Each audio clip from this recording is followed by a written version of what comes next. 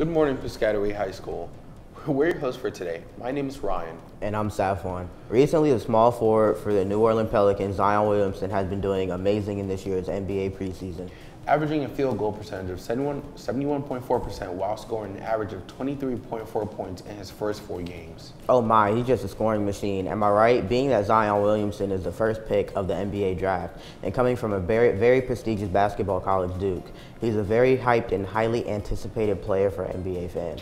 Another reason for his hype is that he's a 6'7", 284-pound athletic freak who has a 45-inch vertical jump who destroyed the basket with his dunks in high school. Let's take a look.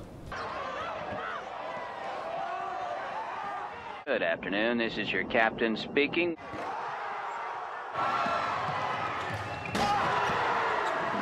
Oh my, those are just crazy. He did a crazy dunk against the Atlanta Hawks in the NBA preseason. Let's take a look. His lane, and, and, and he does a good job. Oh, oh. And oh, Wow, that dunk was crazy.